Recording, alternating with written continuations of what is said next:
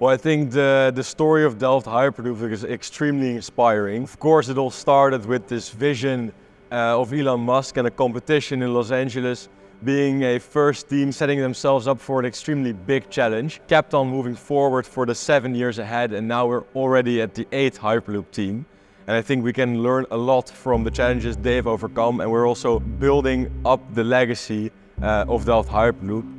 I'm uh, Jem the team captain of uh, DH08.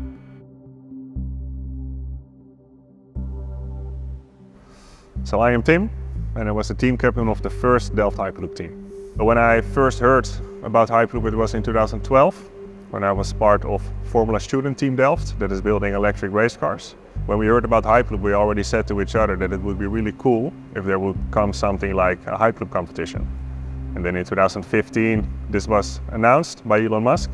We were still in a WhatsApp group with each other of the former uh, Formula Student team members.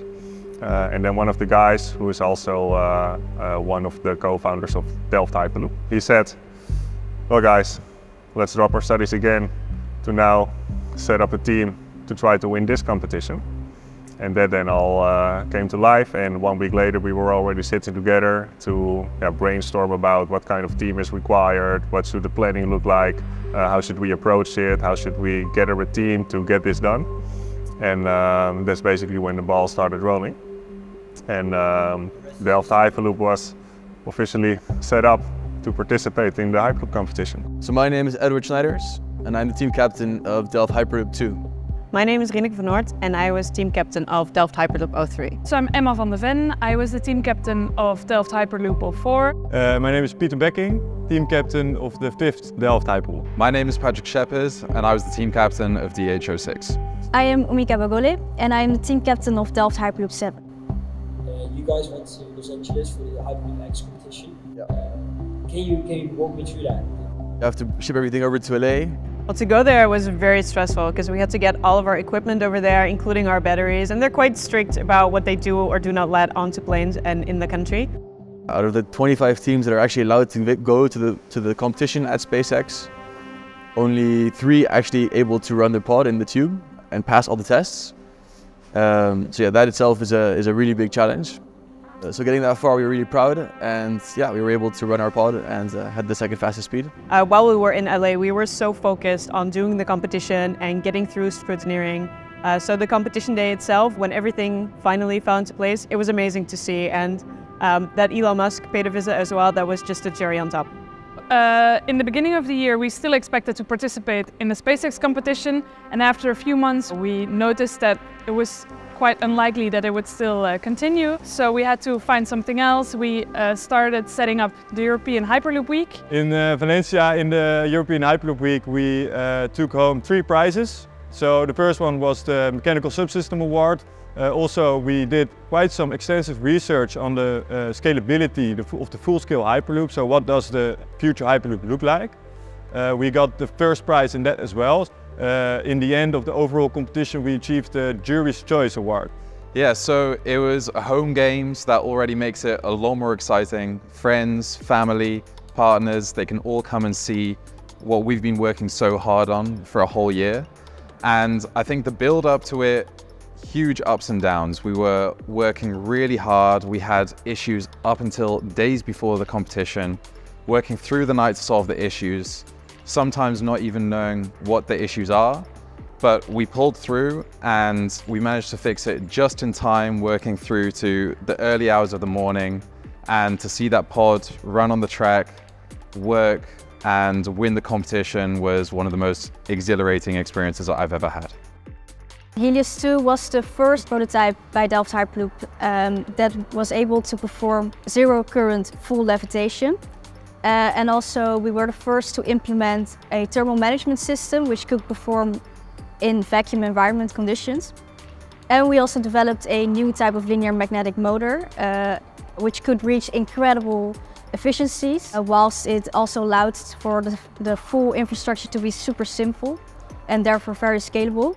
What about the Hyperloop concept inspired you? What really inspires me about the Hyperloop concept is the enormous amount of impact that it can create for society. Uh, throughout the history of humanity, people always wanted to travel further and faster. We've had uh, trains, cars, airplanes, but they're now at their limits. So we really need a new type of transportation that can travel in a sustainable way at a high speed, and that's really where Hyperloop comes into place. Think, of, for example, about the whole Hyperloop network in Europe. You can basically travel over the whole continent as if it is one sustainable metropolis. So throughout one Hyperloop tube, you can travel as much people that would normally go uh, on a six-lane highway. I think the Hyperloop concept is unique in the sense that it doesn't compromise between safety, sustainability, speed and comfort to get from one place to the other.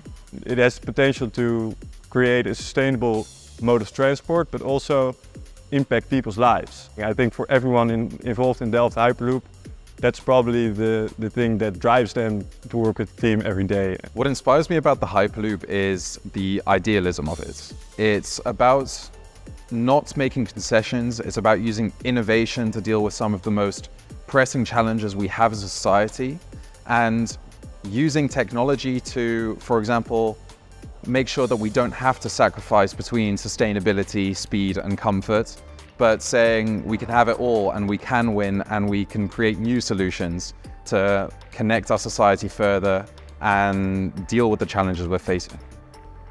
How would you describe your year in one word? Focus. I think that if you truly focus onto something and if you put your mind to something, you can do remarkable things. An adventure. Yeah, lots of ups, some downs, uh, lots of lessons learned. Uh, really exciting, but uh, overall, just uh, quite a crazy uh, adventure amazing. The fact that you set a goal with your team in a really short amount of time. And then if it comes to fruition with actually achieving the goal that you set yourself for, which in our fact was to win the first edition of the competition. That's just an amazing feeling. Unexpected. We faced a few unexpected challenges, um, but we all managed to, to face them quite well, I think. But uh, to say we had a few turns that we didn't expect was uh, the least you could say incredible, I think is what comes to my mind. It's a bit of a, a joke because um, during our design review, our chief engineer said incredible in a very funny way. So it's just a word that we have been saying all year. What are you most proud of? When we started in the first year, Hyperloop was really not known.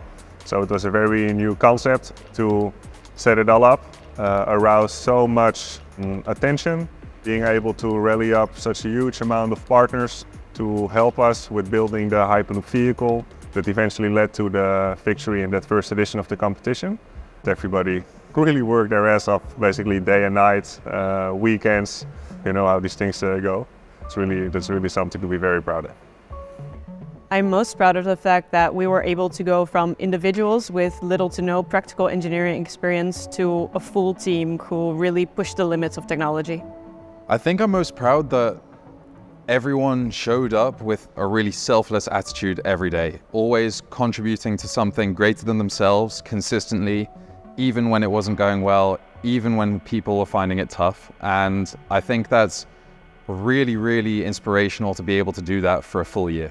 What have you learned during the Hyperloop year? What I really learned during my Delft Hyperloop year is that high risk can definitely yield high rewards. I think that's also the essence of a Delft Hyperloop year is that you dare to be ambitious and set the bar high, even if that means doing things for the very first time. For sure, that will mean that you have a lot of obstacles that will come along your way. Um, but with a resilient teamwork and with a team that shares a passion and if you share a vision together, uh, you can turn all of those uh, obstacles or challenges into opportunities. If you focus and if you put your mind to something, you can truly do extraordinary things and uh, the impossible can be made possible. How would you uh, describe it to one word? I think the best word to describe the team in our year is persistent. It's not one word, but uh, I would describe my team with make it work. I would describe the team in one word as selfless. Extremely passionate. I would say driven. It would be powerful. I would say resilience. I would describe the team in one word as being extremely ambitious. Looking at the challenges we want to face as a team together, They're extremely big challenges in the development of Hyperloop industry and uh, we have determined that we want to face these challenges this year with the team and uh, yeah, really proud that the team wants to over overcome these challenges.